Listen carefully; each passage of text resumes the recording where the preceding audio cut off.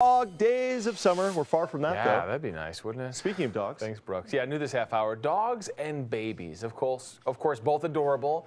But you know what? Uh, you want your, your dog to love the new baby. Mm-hmm. It doesn't always happen like that. And there's help for someone who calls himself a doggy doula. Yeah, we have Tanya here. She is from Family Pupz. She's going to tell us about how you guys help families maybe introduce that new baby into the family. Um, because not every dog is the same, not every Yeah. family is the same, and sometimes that can be a, a difficult transition, maybe, right? Yeah, absolutely. So when we work with our expecting families, we go through a whole process.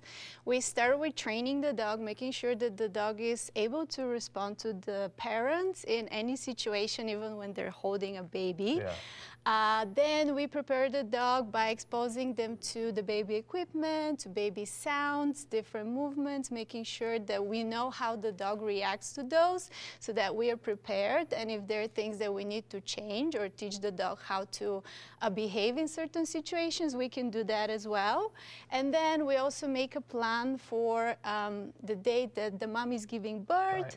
and also the date that the parents bring home the baby and then the weeks and months after that to make sure that we create positive associations. Do you think a lot of us parents often forget how how shocking all of this change can be for the dog?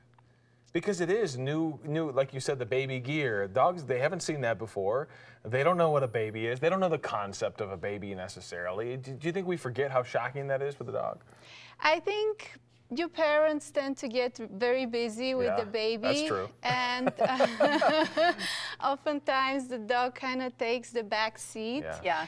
Um, so we want to make sure that we are consciously making time, even if it's five, ten minutes, so each parent has that time with the dog and making sure that we keep the schedule as close as possible to Yeah. what the dog is used to so that the dog feels that they're still a part of the family and feels uh, that their life has not changed that much. And if not, they, there is uh, help out there. There are walkers, there are daycares that can be options all for smart stuff. parents. Yeah, totally. Well, and especially if the dog is used to getting all of your attention, Well, that's and a now change. they don't have all your attention, or there's like a screaming child in the room now, and they're like, "What is this noise? Is this a fire alarm? What's happening?" Right? Absolutely. Well, that's the thing. The attention thing is a big deal because it's and just like with kids, if you have a, a one kid, then you go to having a second kid. All of a sudden, the first kid's like, "Wait a second. Dogs respond the same way, right?" Yeah, absolutely. And this is something that we talk about very often. Um, parents see the dog's change in behavior as jealousy because it's easy for us to explain it, right? This is Yeah. jealousy, this is what I see. But oftentimes I see this as a sign of anxiety because now the dog is uns- unsure how to behave, the routine has changed and the household has changed. So Yeah. we want to make sure that um, we make it comfortable for the dog and prepare them as well. Well, and you guys have an event coming up on Wednesday, is that right? yeah, so we have uh, an event at Second Star to the right. There we'll be talking about, um, it's more of a dogs and toddlers. So when kids are a little bit younger, obviously they, they crawl and they move around. So a lot more conflict can be seen in that, um, Right. year, in that age. Uh, so we want to make sure that we incorporate management around the house, like uh, uh, baby gates, uh, crates and baby gates and different ways to uh, provide, let's say, a child-free space for the dog and vice versa.